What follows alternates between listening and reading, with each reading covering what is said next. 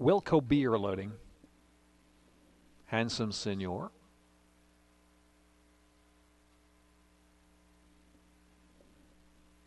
Not for fun in Zweig.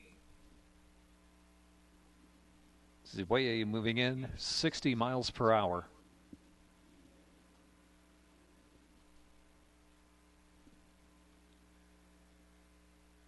Not for fun and skip the punch. Unbridled Ghost.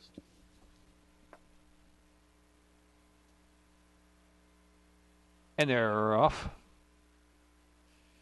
60 miles per hour and Zawai out first. And here's Skip the Punch. Skip the Punch, hard sent to try to grab the lead, but plenty of company. I'll play my hand is moving there on the inside, 60 miles per hour. And at the fences, it's Bullbat time. Racing up in fifth now is Zawai, who's just been out sprinting another two. And it's back to Not for Fun. And back to Unbridled Ghost and Handsome Senor's on the inside. And Wilco Beer is the last runner as they head on to the far turn. The opening quarter went in 22 and three fifths of a second. So into the turn and skip the punch, got clear, but had to work hard to do it. Not for fun. Moves on to the second spot. At the inside there is 60 miles per hour. Is now shifting just off that fence. And I'll play my hand out four deep. Four of them line up right across the track.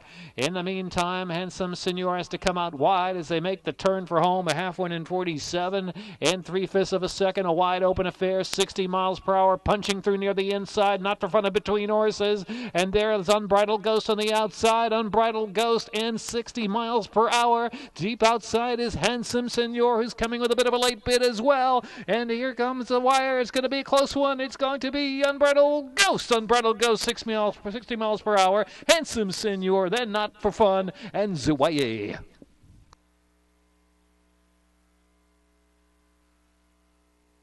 Photo finish.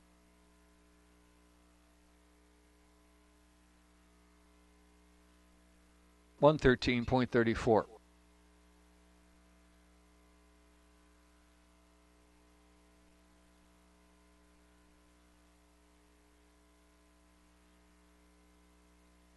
Running time 113.30.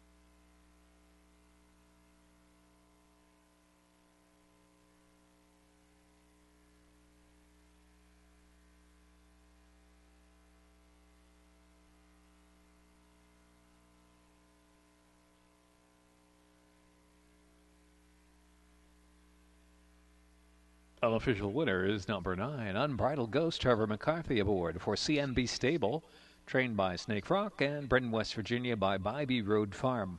Four-year-old dark bay or brown gelding by Ghostly Numbers. Out of Lady Sessa by Wheelaway. Time 1 minute 13.34.